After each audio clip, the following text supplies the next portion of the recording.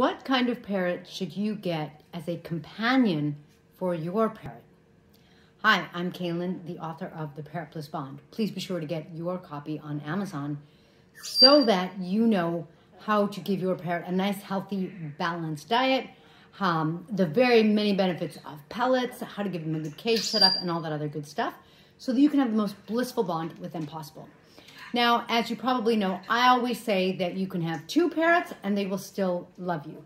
Now, in my case, Macy, my Cape, uh, she loves me and she's not terribly fond of Quantum right there, who is going to be her mate. However, they are getting closer. I think that capes just aren't terribly cuddly birds. She's cuddly with me, but when it comes to all of my parrots, mm, hi baby, you're such a good girl. um, you know, they parrots are are wonderful. They're social. They do find someone to make friends with. However, it's amazing to me how the level of friendship really changes and improves when there's another one of the same species. So my two examples of that are my Catalina macaw, when it was just her, she was really bonding to me, and I didn't like that because I wanted her to really be able to relate as a parrot to a parrot and not just to me. You want to go there? There you go. Oh my goodness, Lorenzo, what are you doing down there? Um, and so we got a Harlequin macaw to keep our Hahn's macaw company. And they love each other. They both still, they love being with us. They relate to us. You could see, this is what I was talking about. Macy just likes to cuddle with me. And she just likes to get her scritches. Um, but my macaws relate to each other in ways that they don't relate to any other parrot and they don't relate to us. They, they pet each other, they groom each other, they just, you know, they speak their own macaw language. And I mean that probably literally, but metaphorically in the sense that they really connect and bond at a different level since they are both macaws. I was really surprised to find that the same was true with my golden conure. I got a young golden conure, Binks. He is four months now. And um, my yellow, yellow winged Amazon took to Binks like, I don't know, like fish take to water kind of thing. Uh, they, the yellow naped Amazon is just crazy. Tico, he's just crazy about Binks. And Tico has not bonded with anyone else. No one, no other Amazons. Not that I have another yellow naped Amazon.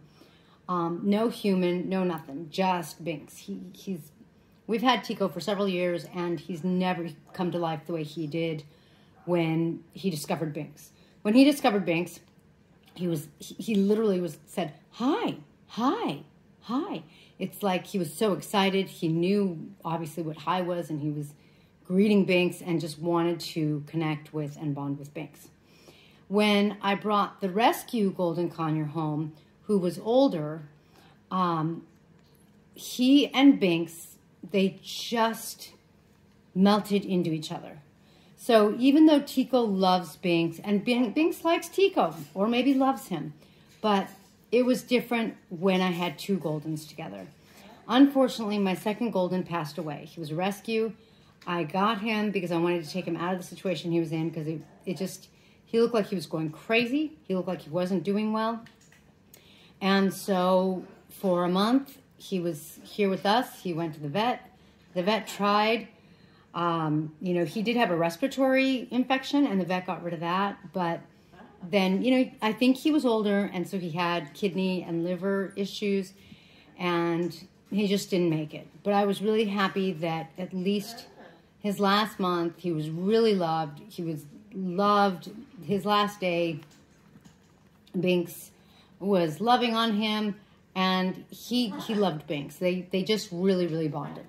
So I'm uh, for me personally in my flock, I really do like having two of each species so that they can bond. I do have a couple exceptions, like um, Tico because I have another Amazon.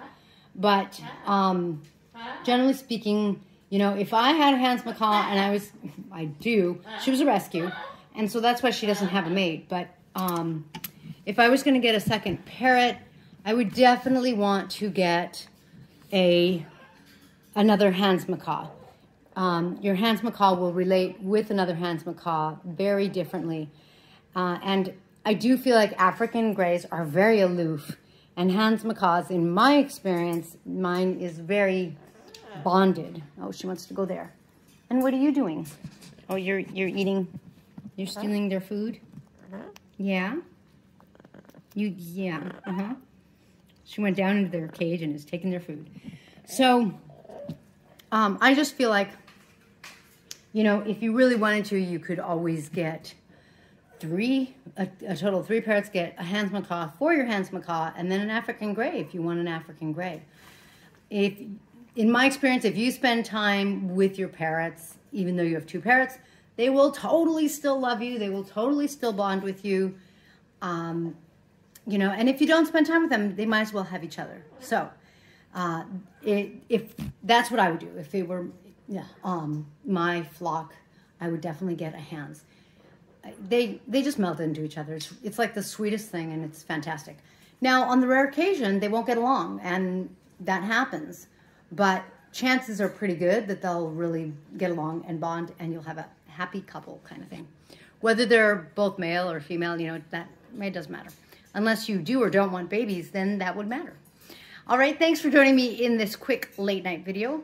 Uh, I hope you are having a wonderful holiday. Uh, I'm happy because actually these two get along more and more lately. They sleep near each other and I mean, you can see they're, they're ready for me to turn the lights out. And so this, they have a cage, which Lorenzo went into, uh, but this is where they like to sleep. Have an open door policy and they really use that policy. They're, as far as they're concerned, the open door policy is down to their food and water, should they want to go down and get food and water. All right, have a wonderful night, and we'll catch you next time. If you have a question about parrots, please post down below, or join our Facebook group at Parrot, or on Facebook at Parrot Bliss Flock, where you can ask questions and join the flock. See you next time.